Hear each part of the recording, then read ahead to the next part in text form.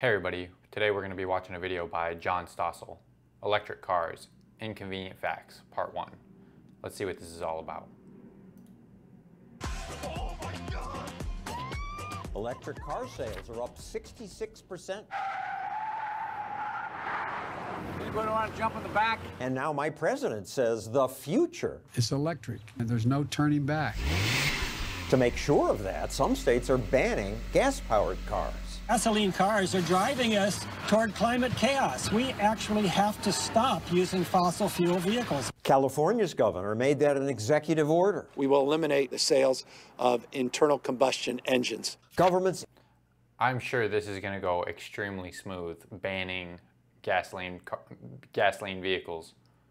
everywhere say they plan to do that. The government has a vision for a future where all our cars will be electric. But this is just magical thinking. It can't happen. In this video and the next, we point out five inconvenient. Magical thinking it can't happen. Those are strong words. Those are that's a that's a strong that's a hot take right out the gate. Let's see what he says. convenient facts about electric cars that politicians and green activists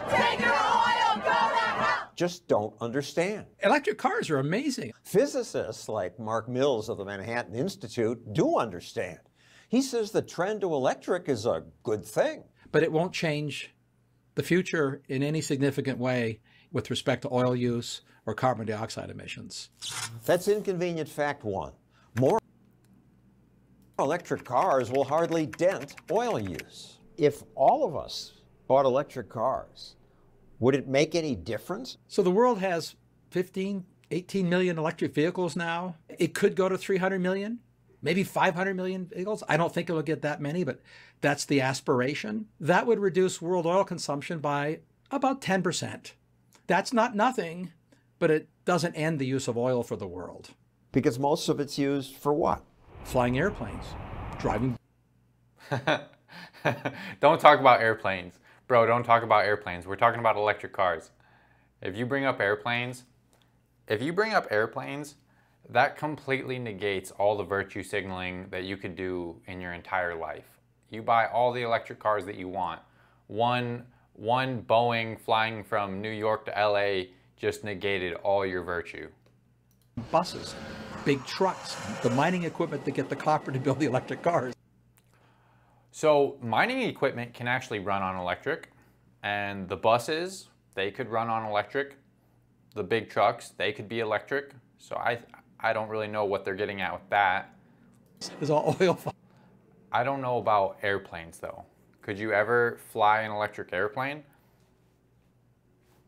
Fired, and it won't change because those trucks last 40 years. And even if all vehicles somehow switch to electricity, there'd be another problem because despite what we've heard, Further, faster, cheaper, and greener. electric cars are not all that green. One reason is because electricity isn't all that green.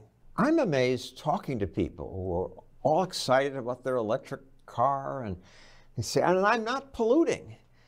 and I say, where do you get the electricity from? And they don't know.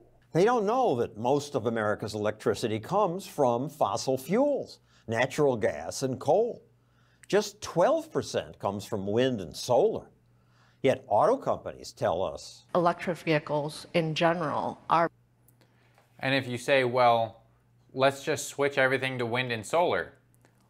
I don't know if you heard a couple years ago what happened in Texas. They have a lot of solar electricity and it got cold. They had a cold snap and it just wrecked their whole power grid. So, and I don't know if you know a lot about wind turbines, but those are okay, for example, if you drive through California, there are big fields of wind turbines, and those things break down. There's tons of wind turbines that just break down. I don't know. are better and more sustainable for the environment. she's a Ford engineer. She's not ignorant. Well, actually, she probably is ignorant in the literal sense of the word. She's not stupid, but ignorance speaks to what you know. You have to mine somewhere on Earth 500,000 pounds of minerals and rock to make one battery. And most of this mining isn't done in the U.S. American regulations make it nearly impossible. So it's done other places, polluting those countries. And worse, ingredients in batteries are mined in places that enslave people and use child labor. So besides the child labor and the uh, and the slave labor, this is something that I mentioned in comments uh, in other in other videos about electric vehicles, where maybe the pollution isn't where you can see it because you're driving a car that doesn't have any emissions coming out of the tailpipe because there's no tailpipe, but we're still shifting the pollution to another country. They're still having to mine.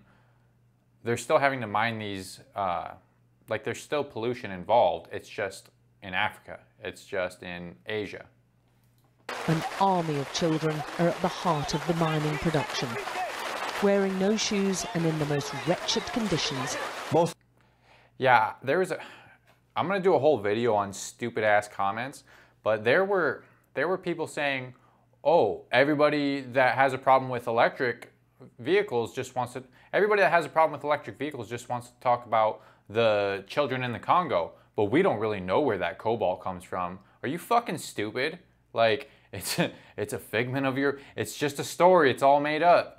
And then there's major documentaries about this about this problem of cobalt mining in the Congo where they're just using these little children. Look at look at Most Americans proudly driving electric cars don't know about this. They just don't want mining done near them. and let me just harp on this for a second. People will say, "Oh, well, are you going to get rid of your cell phone?" Bruh, my cell phone already exists. But if I could snap my fingers and just make all cobalt mining not involve this, I would. And I'm not the one producing cell phones. And I'm not just buying hundreds of cell phones, right? Like I have one cell phone. I literally bought it before I even knew about this thing, about this issue. And it breaks my heart. It breaks my heart. But am I, you know, what am what am I, one person, supposed to do whenever you've got people in the comments saying, "Oh, well, you don't even know where that cobalt came from." You've got a million millions of people like that who are in denial about the problem, won't even admit there's a problem, or don't even know there's a problem. But I'm the one who's supposed to, like, what am I supposed to do about that? Other than tell you guys, hey, they're using little children to, little children are giving their lives so that you can have a lithium powered car or a lithium powered cell phone. That's all I can do. I can just tell you guys about it. And if you don't like it, which fucking nobody likes it, literally almost nobody in the comments likes this, uh, likes this topic. They think that I'm a, a Luddite or I'm, I just hate electric vehicles. Dude, I don't give a shit about electric vehicles versus gasoline versus diesel. I don't care about that. I'm a mechanic. I know what's involved with working on cars and the you want bruh you want to know the answer to all your vehicle problems everybody needs to just start making 1998 toyota corollas and 1998 nissan sentras just everybody consolidate your efforts and make 30 mile per gallon 1998 toyota corollas and nissan sentras and all your all your pollution problems are going to be mitigated to the max But wherever it's done, mining is a dirty business that adds lots of carbon to the air. If you're worried about carbon dioxide, the electric vehicle is emitted 10 to 20 tons of carbon dioxide before it even gets to your driveway, before you drive the first mile and plug it in the first time. Carbon dioxide produced by the mining and the manufacturing and the shipping. Exactly. And this is a thing that just gets ignored by EV cultists. It's like, what about so let's let's just pretend that little children aren't poisoning themselves to mine the cobalt for your for your electric battery. What about the trucks? What about the ships?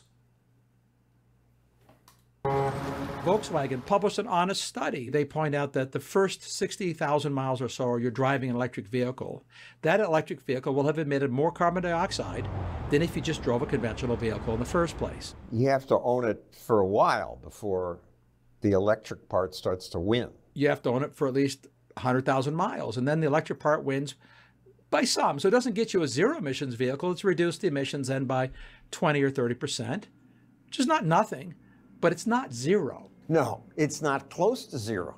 In our next video, more inconvenient facts about electric cars. Politicians make impossible assumptions about batteries and the electric grid. Hope you like this video. Now, I, I want to know how many Teslas are making it to 100,000 miles. Is that because electric vehicles just can't make it to 100,000 miles? That's not even what I'm saying. I'm going to say that shitty, any shitty car can't make it to 100,000 miles. Any shitty car is more likely to get scrapped long before it's going to get to 100,000 miles. Let's go watch part two. You think every car should be electric? Well, here are some inconvenient facts you probably don't know. This is part two of our series on electric cars. We keep hearing. The future of the auto industry is electric. Electric. There you go. Joe Biden said it. You know it's true. And battery technology. Battery technology. That's key because we need to store the electric power. But storing large amounts of energy in batteries has a problem. Batteries are really lousy at storing energy. They leak energy constantly. They leak, and they don't hold a lot. Physicist Mark Mills says electric cars are great, but oil begins with a huge advantage over the chemicals that are in a battery. Oil has about 5,000% more energy in it per pound. And we see this in electric cars. Electric cars' battery weighs 1,000 pounds. It's what the battery weighs. It's replacing about 80 pounds of gasoline. All right, you're talking today, but the batteries are going to get smaller and better. They've gotten way more powerful, long lasting, and affordable. All of this is just a prologue to what the next batteries are going to do. I can't wait. Will they be something like the one Iron Man has? It really all comes back to the battery. Like that's that's the hinging point. Nobody's saying electric motors aren't great. Nobody's saying that an electric car can't be great. It's the battery that's holding it back. Because an electric car is just it's just a car, right? And it has electric motors. And electric motors have been around for oh, I think over 100 years probably, but it's the battery that's holding it back. Yeah, I can fly. Iron Man with the uh, the power pack that he puts in his chest, or the Terminator. Could happen. Things improve. Engineers are really good at making things better, but they can't make them better than the laws of physics permit. That will never happen in any place except. He's talking about the laws of physics. Let's just remember this guy is a physicist. Comic books. That's inconvenient fact four. He didn't really get into de- he didn't really get into detail about that. Miracle batteries, powerful enough to replace fossil fuels, are a fantasy. Because nature is not nice to humans, we store energy for when it's going to be really cold or really hot. The people who imagine an energy transition would want to build windmills and solar panels and store all that energy in batteries. But you do the arithmetic and you find out you need to build about $100 trillion worth of batteries to store the same amount of energy that Europe has in storage now for this winter. And it would take the world's battery factories about 400 years to manufacture that many batteries. 400 years? You know what I, I don't really like how they're saying a whole bunch of they're saying a whole bunch of stuff like the laws of physics won't let it happen. He's not really explaining any of this. Years. Politicians don't mention that. That leads to another problem the politicians don't mention. They say every car will be electric. California will require all new cars sold to be zero emission vehicles. If that were somehow to happen. That means a lot more electric vehicles drawing power from the grid. But the grid is already limited.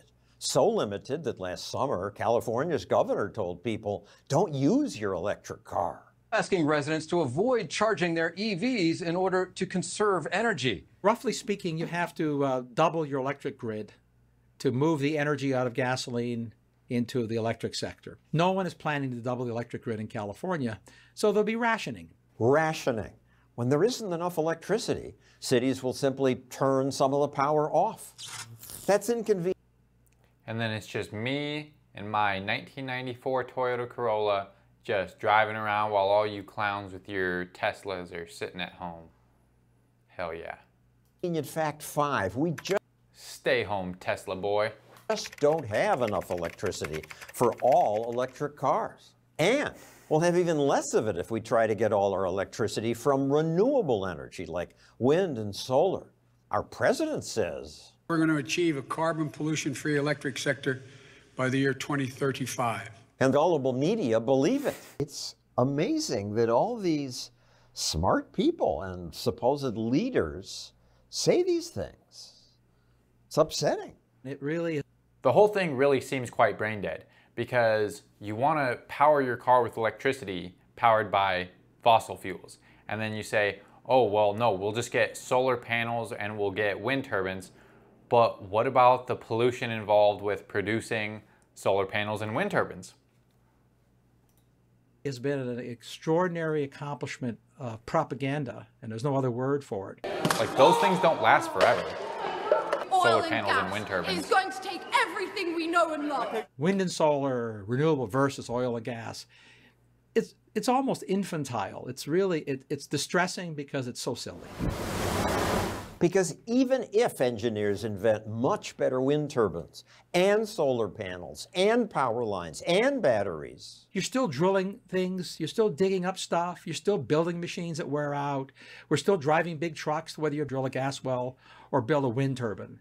It's, it's all the same, really. It's just big machines to make lots of energy for humanity. It's not magical transformation. In many respects, the parts that aren't different are worse, unfortunately. The politicians are making us pay more to do things that hurt the environment. Europe going back to coal. Burning coal in homes and open stoves because they're so afraid they're going to freeze this winter. People fearful of winter shortages wait for days and nights to stock up on heating fuel. Lines going for miles in Poland. These are people picking up coal to take home to be sure they won't freeze this winter. This is crazy. So what we've done now is had our energy systems designed by bureaucrats instead of by engineers. And what we're getting is worse energy, more expensive energy, and higher environmental impacts. That's what we're doing. As for electric cars, I like them. Maybe I'll buy one. But I won't pretend it'll make me some kind of environmental hero. There'll be lots more electric cars. That's the real problem is the uh, it's the virtue signaling. That's what drives me nuts like, oh, look at me. I just spent $100,000 on this electric vehicle that's saving the environment. It's like, no, you could have bought something that has already been produced and that would do more for the environment, like a 1994 Corolla. In the future, and there should be, because that'll reduce demand for oil, which is a good thing. But when you do the math, the arithmetic on the scales of demand to operate a society with billions of people, with five or six billion people who are live in poverty we can't imagine. When you want to give them a little bit of what we have, the energy demands are off the charts big. We're going to need everything. Everything includes fossil fuels. We hope you like this two-part series. If you want to help us make more videos like that, click that button. So what do you guys think about these inconvenient facts? Are they facts? Are are, do you think that these guys are lying? Are they ignorant about something? I'm sure you're gonna tell me in the comments down below. Just go nuts, guys. Like and subscribe if you haven't already. Keep an eye up the hill.